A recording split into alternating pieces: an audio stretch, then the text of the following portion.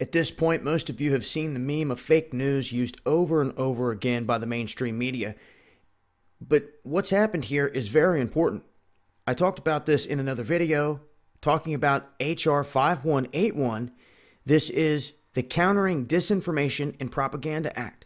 What people need to know is that Obama signed this into law quietly, and they did so by tucking this into the NDAA for 2017.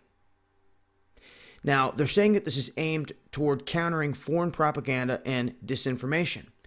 And they have worked with some off the wall type of websites that have listed several different outlets and websites themselves as being propaganda.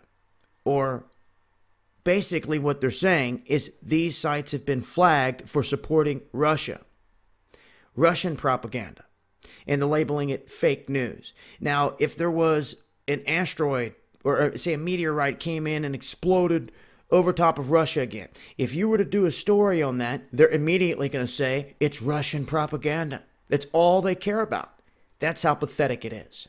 Now, if you were to find a mainstream media article on talking about Russia and cover the exact same thing that they say in it, this site, PropOrNot, will come along and ding you and say you're pushing Russian propaganda. But hold on a second.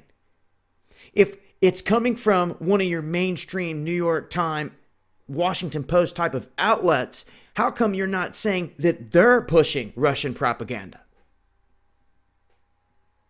They're not. So, what they're doing is they're simply targeting people that are speaking the truth. And what they've done with this whole act is put independent media in the crosshairs. They are forming a group, a certain agency that is going to tackle this head on, they say. And what does this mean? This means the restriction of freedom of speech. This means that people like me and others out there that are just simply giving you the truth they're going to say it's fake news because it doesn't align with the establishment. This is about as Gestapo as it gets. So others out there just not saying it.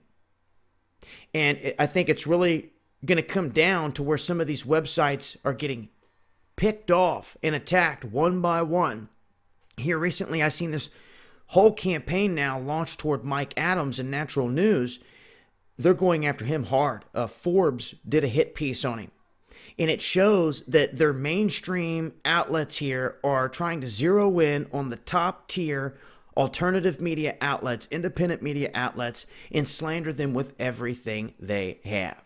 What's sad is if you look into some of these sites, some of them are thoroughly against Russia, like me.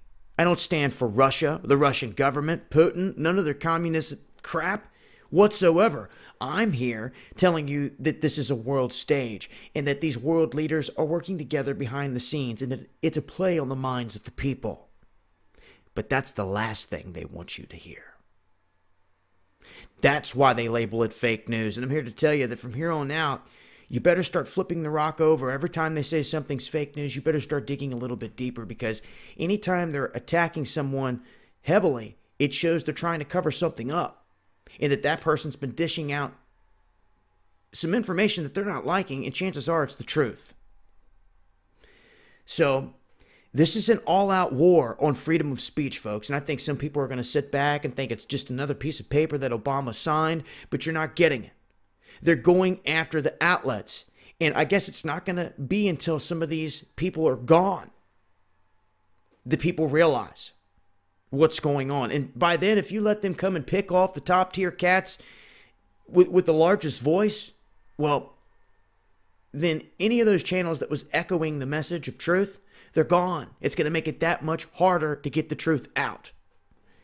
Now, I'm not defending any and all these sites that they go after. Some of them I've never heard of, some of them, no doubt, spewing fake news. But when they put legitimate people on there just because they don't align with the establishment views, it becomes a big problem. IntelliHub here also targeted and others. Why? Once again, because they they don't push the mainstream propaganda. That's the thing. But let it be known, Obama signed this into law You can see right here, HR 5181. I've done another video on it, but I can't stress enough the importance that people realize what's happening here. Freedom of speech is under attack big time. There's more details here at this link. I'll leave it in the description box. This has been Dahboo7. Peace.